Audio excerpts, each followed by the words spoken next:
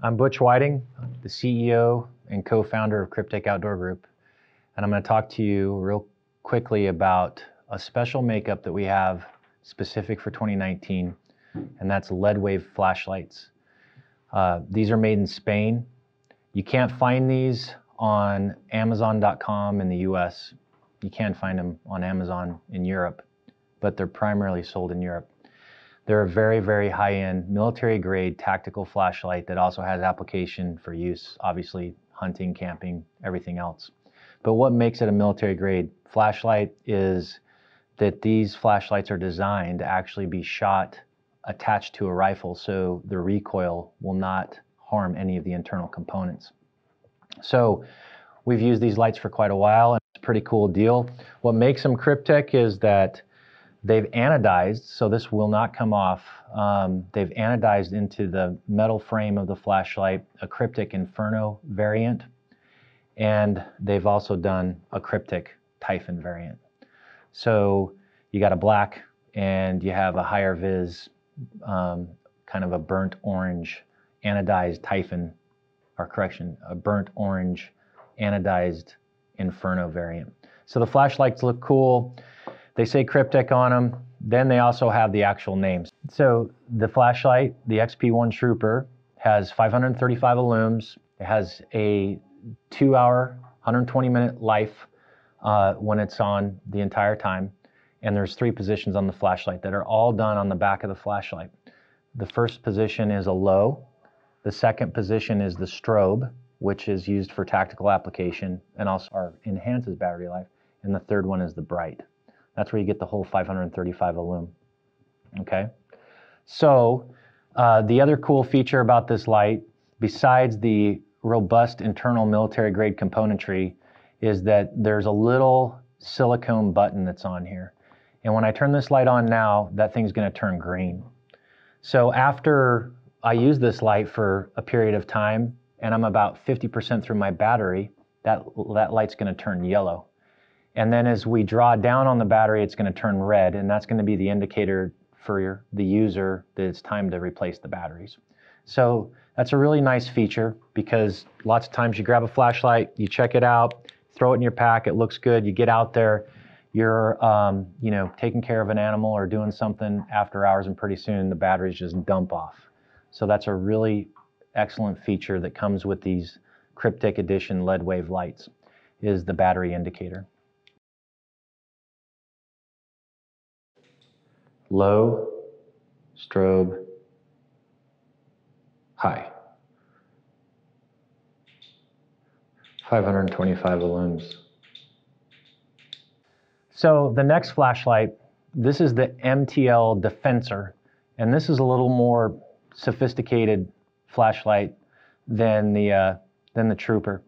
First of all, you have the same exact battery indicator on this light that I spoke to on the Trooper um, that changes based off the battery life. Um, then there's a five position ring that's around the top of this flashlight. Right now, this is in the locked position, meaning I can't accidentally turn this on. So if this if this flashlight's mounted to your weapon and you bump it and you don't want to give away your position or you know activity hasn't started to happen, it's not going to turn on. But my light's still showing that the flashlight is active. Uh, if I turn the ring a quarter turn, it's going to come on the lowest setting. And this is a, a one quarter power setting and then you go up to the next setting, which is a half, uh, a half power setting. Then you go to a full power setting, and that full power setting is 825 lumens, 825 lumens at full power setting. And then the last power setting, you go back into the strobe setting. Um, and that strobe setting is to confuse or dazzle uh, an intruder or a suspect or whatever it is. So again, these are military grade tactical flashlights. Um, I can tell you that when you use that strobe setting, you actually, if you're in the backcountry, it will uh, it will prolong the use of your batteries. So if it's strobing, you're actually using less battery power than you would if you were at the full setting. So that's the main um, difference. It's a higher illum. It has a higher battery life. Uh, the battery life on this flashlight on the Defenser is three hours. or 180 minutes is what's advertised by Leadwave in Spain. Um, so in closing, this flashlight's a little more technical. Uh, it comes also in the Kryptek Inferno anodized variant. You're never going to get this uh, rubbed off or, or it's not going to degrade. And it also comes in the black or Typhon variant as well. So um, major difference between the Defenser and the Trooper. You got a little more weight on this one. You've got adjustable five position. You got the ability to lock it if you are going to use it in tactical application and you don't want to uh, run the battery life out or um, you don't want to trigger it and have your, uh, I guess, give away your position uh, or your team. And um, you got better uh, lume with this. You got better lumens. Lumens, you have better lumens with this, uh, with this light, approximately 200 more. So longer battery life, better lumens, more features, um, and still has uh, the great uh, aspect of this light, which is all, all of the lead wave, or the majority of the lead wave lights, is that battery life indicator, so you don't run out when you need it the most. Low power or quarter power, half power, full power, and disco.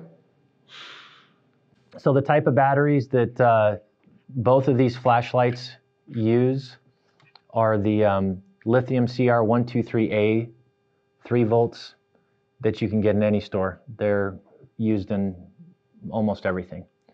So nice little loading cage here, dump it in, and you're good to go.